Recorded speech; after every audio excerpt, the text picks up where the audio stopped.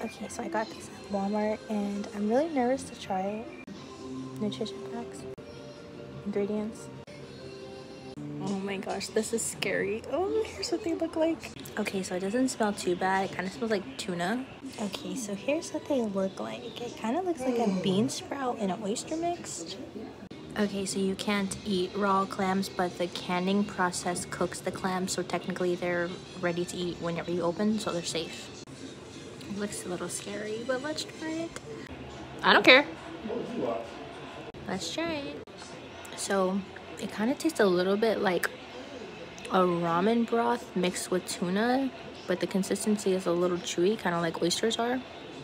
I like it. It's not bad. I can see myself eating it for the health benefits.